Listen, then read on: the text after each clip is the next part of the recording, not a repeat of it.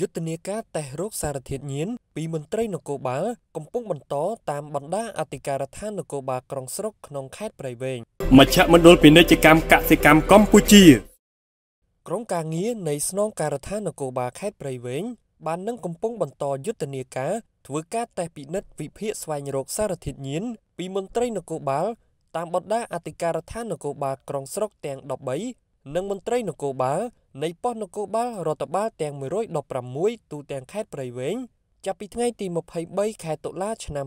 2023តទៅសូមជម្រាបថាយុទ្ធនាការត្រួតពិនិត្យស្វែងរកសារធាតុញៀនចំពោះមន្ត្រីនគរបាលខេត្តព្រៃវែងនឹងធ្វើដោយការយកចិត្តទុកដាក់ជាទីបំផុតនិងធ្វើចំពោះមន្ត្រីនគរបាលគ្រប់រូបដែលមានក្របខ័ណ្ឌក្នុងខេត្តព្រៃវែង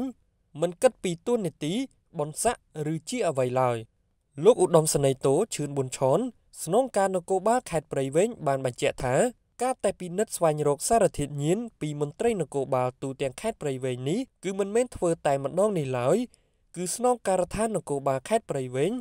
នឹងរៀបចំធ្វើយុទ្ធនាការនេះជាបន្តបន្ទាប់ទៀតដោយមិនមានការជូនដំណឹងទុកជាមុនឡើយស្នងការដ្ឋាននគរបាលខេត្តព្រៃវែងនឹងធ្វើការប្រកាសអាសន្នភ្លាមភ្លាមបើករណីមន្ត្រីនគរបាលរូបណាកិច្ចវេះ ឬអវត្តមានមិនមកធ្វើតេស្តពិនិត្យនោះក្រុមការងារត្រួតពិនិត្យអាចសន្និដ្ឋានបានថាមន្ត្រីនគរបាលរូបនោះមានជាប់ពាក់ព័ន្ធនឹងគ្រឿងញៀន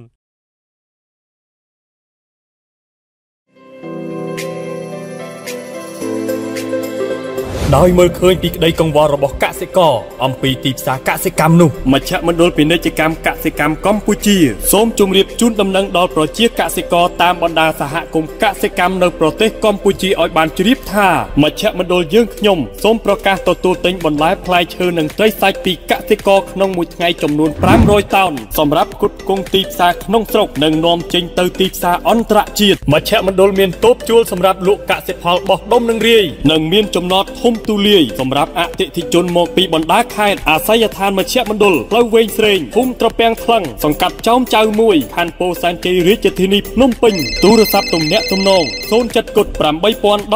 092 8012 071ការ៉េ7 212